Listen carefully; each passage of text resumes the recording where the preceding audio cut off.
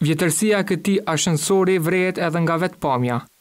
Kjo e bën përdorimin e tij jo edhe aq të sigurt për njëqind e dhjetë familjet që jetojnë në këtë ndërtesë të lagjes Aktash në kryeqytet.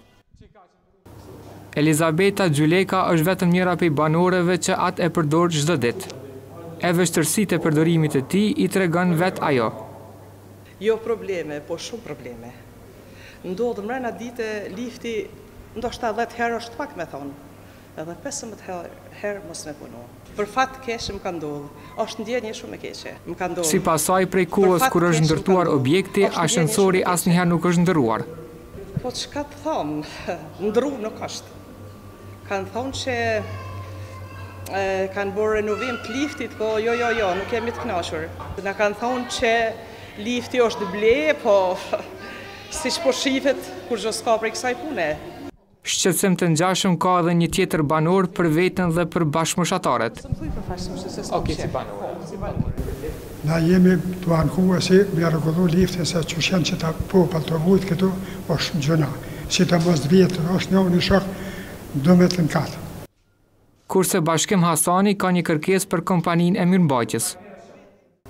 Kërkesë kem për shkak se ky është i mbingarkum si lift, që lift domethënë lifti i cili nuk funksionon këtu se as prej pasluftës, Të rregullohet ashtu që të kemi dy lift, dy lifta dhe të jetë ngarkesa më e vogël. Unë besoj që me po po të jenë dy lifta këtu kish me funksionu shumë ma mirë. Në anën tjetër, Hajrullah Rexhepi ka një kompani inspektuese që funksionon brenda Ministrisë së Industrisë, Ndërmarrësisë dhe Tregtisë.